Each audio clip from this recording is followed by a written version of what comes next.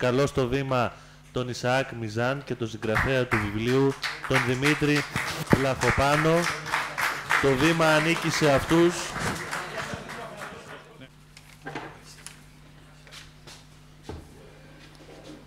Με συγκίνηση βρίσκομαι στην Πανεπιρωτική Συνομοσπονδία Ελλάδος για την τιμή που μου έγινε για το ολοκαύτωμα των Ελλήνων Εβραίων. Είμαι αρτινός, είμαι υπηρώτης, το μυαλό μου και η ψυχή μου βρίσκονται στην Άρτα. Σας ευχαριστώ πάρα πολύ για την τιμή που μου κάνετε απόψε. Το πρόσωπό μου, στο πρόσωπό μου τιμώνται σήμερα όχι μόνο οι Αρτινοί ή οι υπηρώτες, αλλά και όλοι οι Έλληνες Εβραίοι θύματα των Ναζί. Ευχαριστώ πολύ.